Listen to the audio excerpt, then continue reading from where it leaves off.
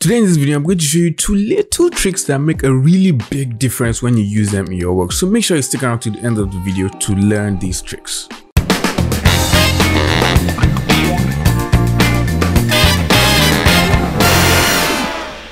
Now today we're going to be looking at a really fantastic illustrator and artist. I've known him for a while. On DeviantArt then he was known as Hamsterfly. I don't know if he still goes by that name but his actual name is Viktor Titov and he has a fantastic Instagram page. If you just go through his Instagram page you'll see really amazing work. Very simplified when you take a look at some of his warm-ups. He uses color in an insane way. He really understands how to paint. And if you look at all his work he has really amazing approach to how he makes his warm-ups. And i think these are just really really quick sketches warm-ups he just does before he uh goes into his day and makes uh, images or starts working. So we're going to look at some of his images and see what he does in them and how you can apply this tip to really bring out the best in your image. So i've taken this image from his instagram page. I actually reached out to him yesterday and asked him if it was cool for me to take this image from his instagram and make a video today. And he said fine. He said yes. So that's why i'm making this video. And i think some of you should actually reach out to people before you just download their work from instagram and start coloring it or painting it and using some of the techniques you're learning on my videos. I feel like to just it will make you a better person when you reach out to someone and ask for their work. So do that. Now right now when you come into this image there are two things we need to pay attention to and i'm going to list them now. So let me just reduce the size of my brush.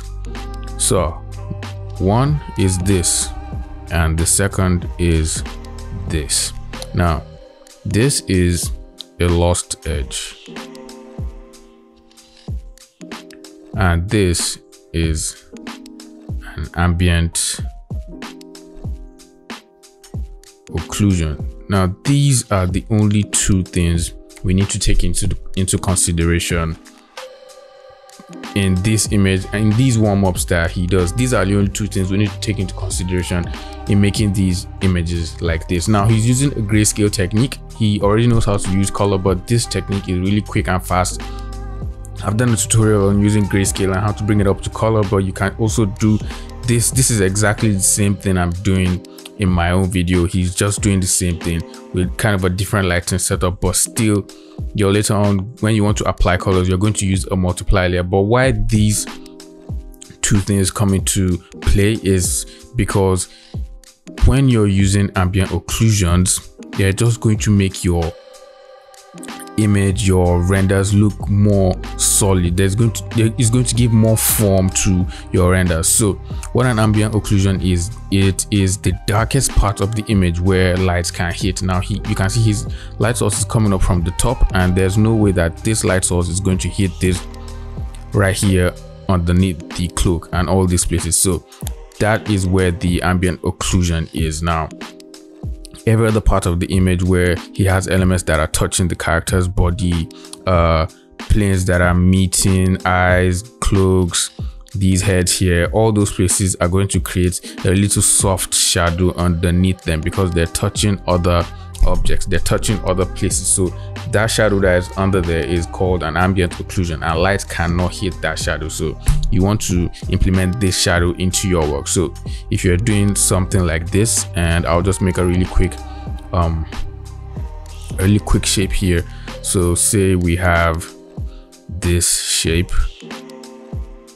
like a bean, a little small bean, and I'm going to pretty much do the same thing. I'm going to use the same technique he's using here and whoops, we just fill it with um black and then make this say 30% and then I'll just erase some parts of it. So same same light source from the top and that all right so as you can see it's just really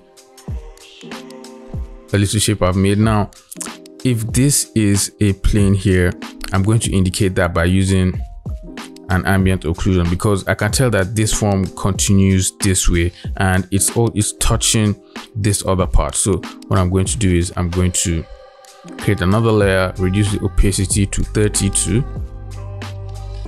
not 32, 30, and then I'm going to select this place right here where the two planes are meeting. And then I'm going to paint with a soft brush into this place. Now this is the ambient occlusion because that is where these two planes are. That's where they're meeting. That's the meeting point. So this is what you want to do. And then over here where the the shape is also touching the ground you want to paint a little darker too because it's also going to cause a shadow there. Now that is also another ambient occlusion. So you want to think about you just really want to think about where all these planes are. Where are they touching? Where do they meet? And that is where you're going to want to put your ambient occlusion. So it will just make the form read and you can just feel like okay this thing is actually three-dimensional instead of just having it like this where it's just two planes. I know cartoons do this a lot but i feel like you can elevate your work by just using ambient occlusions. Now lost edges on the other hand are where you have this hard edge over here. You have this hard edge so this is a hard edge. Now it's because this place is causing a cast shadow and this other place even though it's causing a cast shadow to there's a, there's a shadow here but this plane is turning away from the light source. It's going in this direction. So it's going to it's not going to have a hard edge. You can make it a hard edge but this will read much more if you have this soft lost edge where the shadow is transitioning you can tell that it's changing plane so if this was a square if this object was a square you're going to have definitely a hard cut right here. But because this is not a square this object that this cloak she's wearing it has texture so it's going to have a transition. You're not just going to make it square it's going to have a transition. So the shadows are going to transition it's going to be soft. And then when you have all these soft uh, shadows transitioning right here in the middle is going to be the darkest part and this part is going to be called it's known as the terminator because it's the darkest part that's separating where the light is hitting and the rest of the shadow. So you can see he does the same thing here as well he has a terminator there he has a terminator here. Now you he has a little bit of it here too. So you want to keep this in mind. And if we go back to our little figure here taking keeping that in mind you can see this is our hard cut. And now we're going to make our soft shadows right here. So we're going to make this plane softer because it's transitioning we'll do the same with our with that. And then we'll do the same thing with this plane over here too. So you just want to keep in mind uh, the forms you're rendering and how they're turning in 3d space.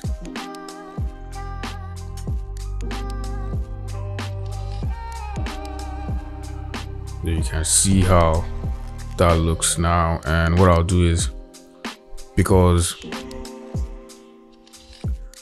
I've made this darker. I have to make, I've made this uh, smooth. I have to do the same thing with the um, ambient occlusion shadow. So those have, those have to be smooth as well. And I'll just use black and just paint in there. So you can tell this just makes the form read.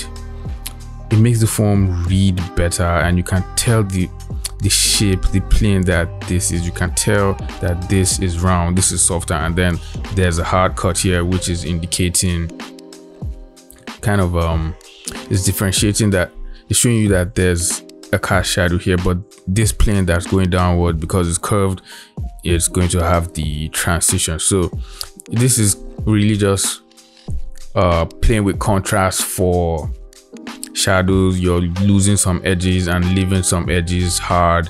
And really just want to use this all the time when you're making your work. And then you can even just go in and add a couple of bounce lights here and there if you want to really push this some more. So i'll just use white and i'll just paint a little bit of bounce light coming in from the ground onto these planes. And you can see how the form just it's just beginning to feel like a potato. It's beginning to feel like something that is actually alive. So you can see how that form is reading and you can see it's just the same principle that he's using in his images. So really you guys will have to be doing this in your work. You'll see a big difference if you start thinking about it like this. Just how i broke it down. If you start thinking about your work this way you're going to make some really good improvements in your images. So try these techniques try this out and you can go back and tag us tag him tag me in the image if you upload it on instagram and let's see let's see what you guys are doing with these tips that we're sharing on my youtube channel and everywhere else. So yeah if you learned something from this video please leave it a thumbs up share it with a friend so everyone can improve with their art and leave a comment down below what you think what you like what you want to see me draw next create next just leave a comment down below. And just leave a comment down below if you like my hat. If you think my matching colors my my colors are i'm i'm doing some color contrast with the dressing suit. it's a red shirt with a blue hat so yeah just tell me what you think in the comment section and i'll see you guys tomorrow in the next video. Mm, yeah. Peace. Our supporters thank you for letting me do what i do and if you love to support my work and my channel you could go down and click the link in the description to subscribe to my patreon page. And with all that being said i will see you in the next video. Peace. Being cute. I know people have not seen my face in a while on this channel but um here it is. Uh, it's nice Abby. it's cute because I'm feeling cute today. So I have the cap, I have the hat on, blue hat to match a little bit of contrast in the colors, you know, blue hat, red shirt, just some contrast. You can't just be doing all that contrast in your work, you have to put it in your dressing too.